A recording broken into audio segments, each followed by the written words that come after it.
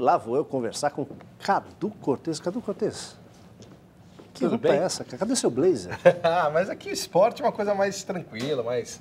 Cara, é, eu saio de despojada. férias, te dão dois blocos. Ah, você e sai você, quarentena. E você, Isso é volta sem quarentena, blazer. Você fica doente, fica 40 dias fora, né, Gabi? Exige a volta de Gabriel. eu sabia que ele ia fazer isso. Pronto. Pronto. Vou Agora ficar tamo só mais- eu sofrendo de calor aqui. Vamos que ficar mais é à vontade aqui. É isso aí. Tranquilo? Como é que foi a Vai ter greve, não? Hã? Greve vai ter? Vai. Ah, quer dizer, é, essa é a indicação do bom senso e também do sindicato dos atletas. Vamos Você falar acompanhou disso, um- Vamos falar disso.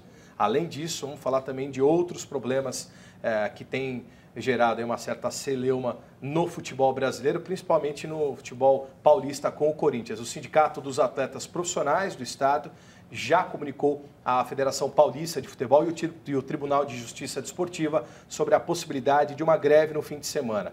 Esse aviso, 48 horas antes, tira qualquer possibilidade de que a paralisação seja ilegal. Ontem, os jogadores do Corinthians divulgaram uma nota e se disseram fartos da irracionalidade dos atos de violência impunes no futebol. Não sei se você acompanhou nesses dias, acredito, né? Sempre nas férias, a gente está vendo, inclusive, aí eles, algumas, algumas partes, né, Aldo? Eles admitiram que vem fracassando em campo nos últimos meses. É, obviamente, também disseram que não deveriam ter jogado contra a Ponte Preta no final de semana. Um dia depois do centro de treinamento ter sido invadido, os jogadores encerraram o texto dizendo não mais admitir desrespeito aos compromissos de profissionais dedicados e honestos com o clube. É, acabaram colocando tudo no mesmo bojo, né? Jogadores descomprometidos, aqueles que trabalham, mas às vezes o resultado não dá para você imaginar Claro. que o time vai ganhar todos os jogos, ser campeão todos os anos. A torcida tem que ter um pouco de paciência. Essa questão da invasão, eu acho que é uma, uma situação impensável. Agora, eu só lamento que eles tenham de fato tomado a decisão da greve depois deste episódio, porque eles já tinham motivos desde o ano passado, a gente vinha comentando aqui, o descaso da CBF com né, todo, to- todas as demandas que eles vinham apresentando, mas enfim, acho que esse jogo de forças ele é importante para melhorar a qualidade É. do futebol brasileiro, sem dúvida. Foi a gota d'água, né? Ultrapassou todos os sensos, os bons sensos que existem, os limites de paixão. Eu conversava com a, com a Gabi na semana passada, na- no começo dessa semana. É, não dá para admitir mais que as coisas aconteçam da maneira como acontecerem e nada é, seja feito, né?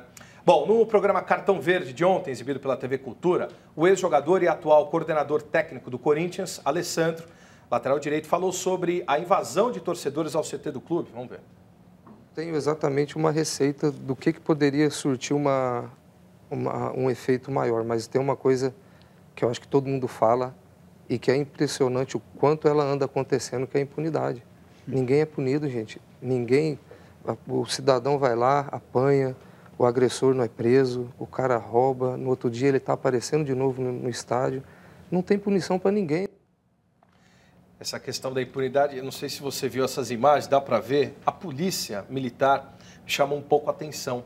Né? É, o trato que foi dado a esses jogadores, a esses torcedores, bandidos, vamos chamar de torcedor, porque torcedor não invade o local de trabalho é, do- dos jogadores que, do time que torce, né, do coração.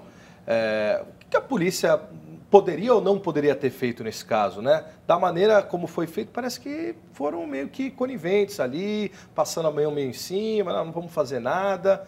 É um pouco Não, e também o clube não ofereceu denúncia. Né? Isso é pior o que ainda, né? mostra, descancar essa situação de que as torcidas organizadas, Exatamente. elas estão ali com todo o apoio, servem inclusive é, é de sustentação para os cartolas que estão palco eleitoral, comando, né? muitas Claro. vezes, de, de eleições. É complicado mesmo. Espero que é, algumas atitudes aí, pelo menos é, de alguma das partes, aconteça alguma coisa de fato.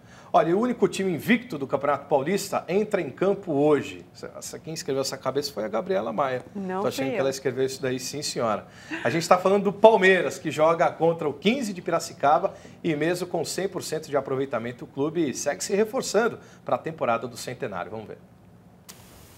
Água para refrescar e matar a sede dos jogadores do time que ganhou todas as partidas disputadas no Paulistão deste ano. Mas nem com água dá para acabar com a sede do Palmeiras em contratar. Um novo reforço chegou ao elenco alviverde, o lateral esquerdo Paulo Henrique, revelado nas categorias de base do Santos. um desafio que eu me propus a, a conquistar, né? E eu tenho certeza que aqui tudo vai dar certo e eu vou lutar muito para poder dar alegria aos torcedores do Palmeiras.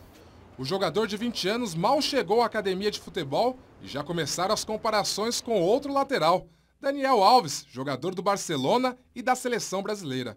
Eu quero muito mais ser lembrado com aparência não só física, mas também como atleta, que ele é um profissional excelente e que eu vou lutar muito para poder chegar onde ele chegou e poder ser comparado dentro de campo também com ele.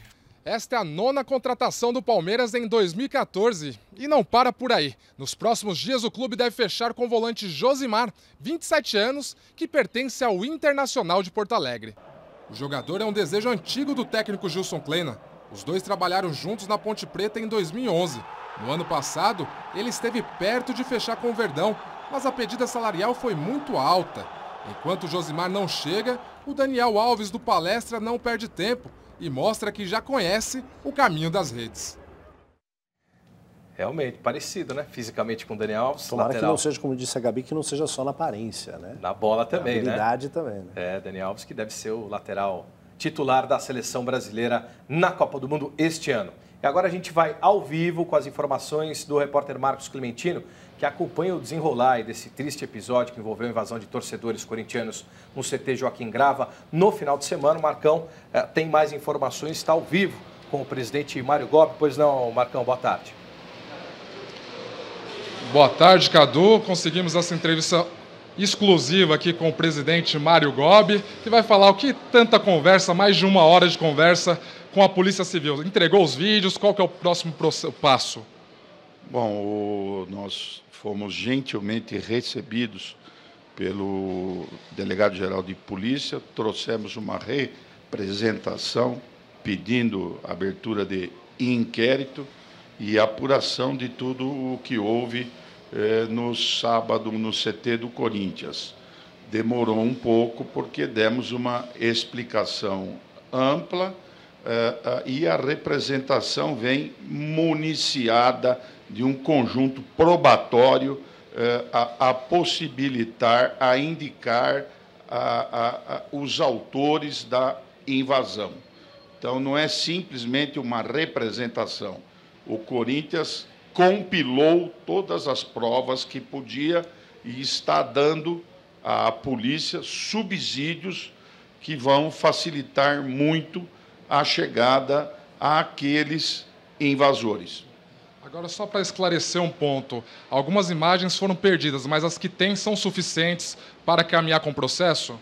Algumas imagens eh, foram, eh, por questões técnicas, perdidas, mas as que nós trouxemos são mais do que suficientes para se chegar à autoria eh, daqueles que violaram a lei no sábado. Mas é, quem, quem, quem, quem é, é, faz o serviço de filmagem e gravação é, dentro do CT é uma empresa terceirizada e o aparelho que, que, que teve que, é, problemas técnicos está à, dis, à disposição para uma perícia para se verificar é, se realmente foi problema, pro, problema técnico ou ou não. É isto, a verdade nós queremos por inteiro. Cadu, microfone aberto para fazer pergunta ao presidente Mário Gobi. Obrigado, Marcos. Obrigado, presidente Mário Gobi, também por conceder essa entrevista. Apenas eu tenho uma questão, é, presidente. Se o Corinthians, de fato, né, saiu essa informação na imprensa, é, tem é, alguma informação relacionada aos torcedores de Oruro, que aconteceu aquele episódio na Bolívia, com os mesmos torcedores que teriam invadido, alguns também estariam envolvidos nessa invasão do CT Joaquim Grava, presidente Mário Gobi. O senhor tem essas informações, de fato? O que o senhor tem a dizer sobre isso? Olha, o que eu tenho é comentários uh, no sábado lá no CT de que um dos que estavam em Oruro invadiram o CT. Não sabemos ainda quem, trouxemos aqui as, as fotos, testemunhas e fatalmente a polícia vai chegar a, a, quem, a quem teria sido. Presidente, é, por que a demora na apresentação dessas imagens no oferecimento de uma denúncia à Polícia Civil? Esse, esse episódio aconteceu no sábado, é, nós estamos hoje na quarta-feira. Por que essa, essa lentidão? Inclusive, essa argumentação foi usada pela Polícia Militar ao dizer que, como não recebeu ali nenhuma provocação da direção do clube, até não tomou alguma atitude mais enérgica ali.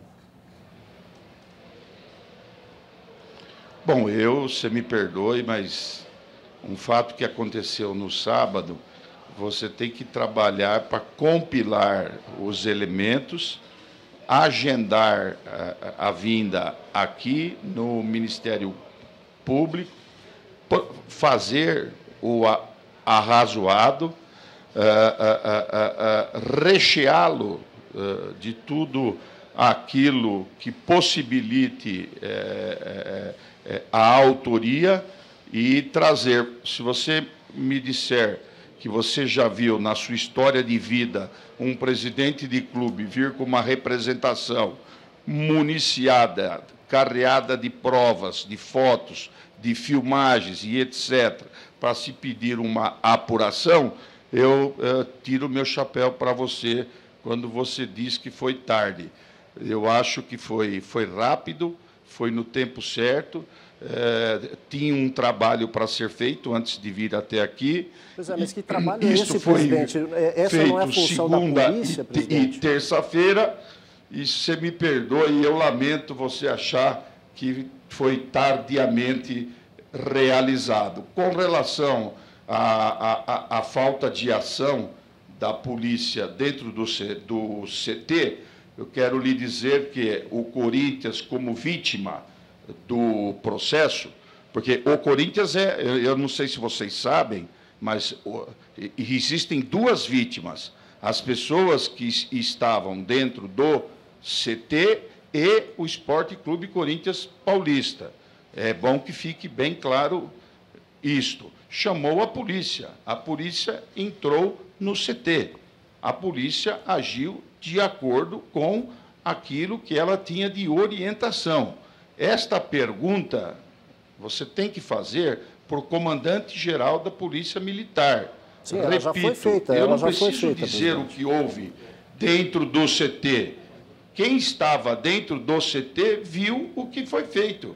Eu não tenho que dizer o óbvio. Quando uma autoridade chega a um local de crime, cabe a ele assumir é, é, todas as providências que o caso requer, e não ao Corinthians, porque o Corinthians não é um órgão repressivo de segurança pública. O Corinthians é, um, é, um, é uma associação desportiva que dá lazer ao seu sócio, monta um, um, grande time e disputa títulos. Isto é função nossa.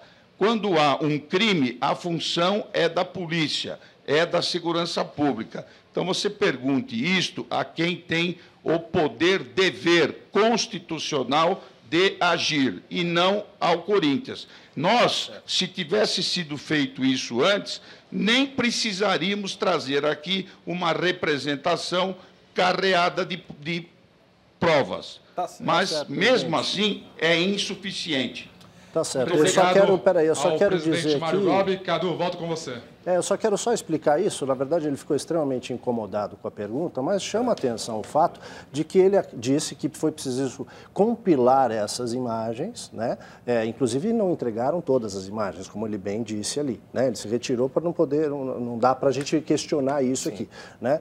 Mas chama atenção, esse trabalho da polícia, ele tem que entregar tudo que ele tiver Exatamente. na mão para que a polícia defina, não eles selecionarem né? e depois escolher o que vão entregar. É, Enfim. É. Ah, e a atitude da polícia ali é, no mínimo, estranha também. Ele falou para perguntar para o comandante-geral, comandante-geral da PM. Não, não, que já é se explicou, estranho, né? já é, disse, é, foi uma atitude estratégica ali, é. enfim. Bom, é, a gente vai continuar acompanhando, obviamente, e trazer mais informações a respeito aí dessa, dessa, desse triste episódio que envolveu os torcedores, esses bandidos e também os jogadores do Corinthians. Gabi. Daqui a pouco tem mais esporte. Botafogo e Atlético Paranaense decidem vaga na fase de grupos da Copa Libertadores. E mais. Os últimos preparativos para as Olimpíadas de Inverno de Sochi, na Rússia. Não deixe de se alimentar antes de exercícios físicos. Consuma carboidratos integrais que dão energia sem engordar.